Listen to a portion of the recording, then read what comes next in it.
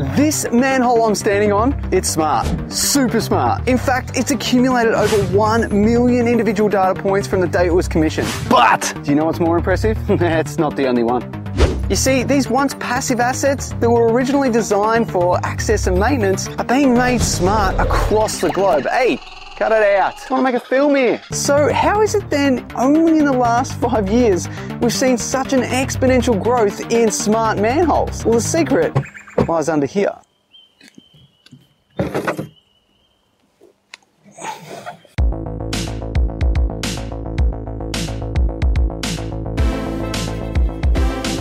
This is an RTU, and it's really hard to make an RTU sexy, so I hope you enjoyed the montage. Anyway, it stands for Remote Terminal Unit, and whilst RTUs are nothing new, this one's packaged a little bit differently. You see, technologies like 37 South Site Sentinel and Metasphere's point color range have made it super easy to.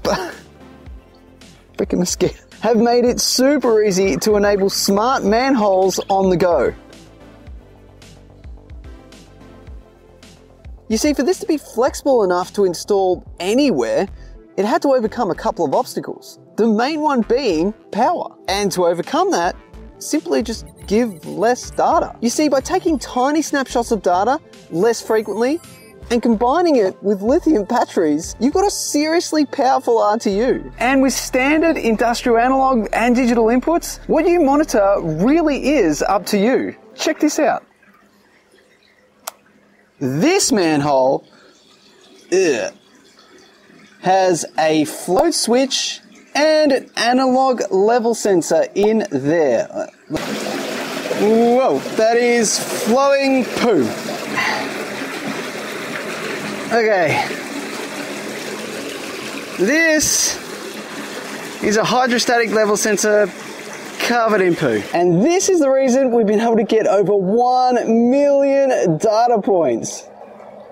Ugh. You're still a technician, they said. You'll love it, they said. Actually, I don't think anyone said that. You see, each time that water rises a certain percentage above and below that sensor, we get a registered event in this thing. Oh, and it doesn't just stay here. It goes to your SCADA system. That's right. It goes offsite and you can host it anywhere you like. And for the RTU geeks out there, it uses DNP3 and FTP and some other protocols sometimes. Anyway, but whilst all this is pretty cool, why would you even want to monitor a remote manhole?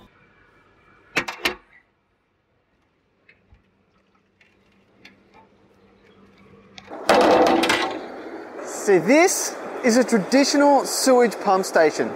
See, all the sewage from all the houses around the area comes straight down and into this big wet well. Now, this thing is a pretty large piece of infrastructure, and what comes with it is a main supply with a switchboard to power the pumps to get it up over the hill.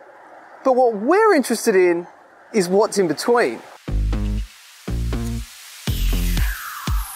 See, as it pumps over the hill, it doesn't just go in a straight line. It goes up, down, left, right. And at those junctions is where we are gonna find some manholes.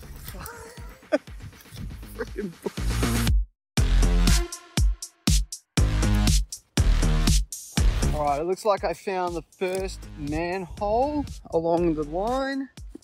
And I reckon the other one is not that far away according to the map. So here we are.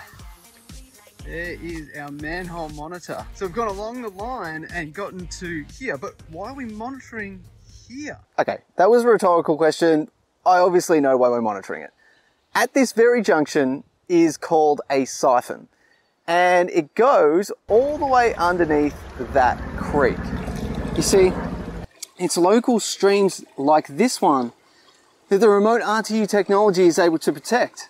Because traditionally, if we had a blockage in a manhole, it would likely overflow and end up into this stream, causing all sorts of damage to the local wildlife. And as more and more water authorities catch on to this technology across the globe, we're able to provide a cleaner environment for everyone.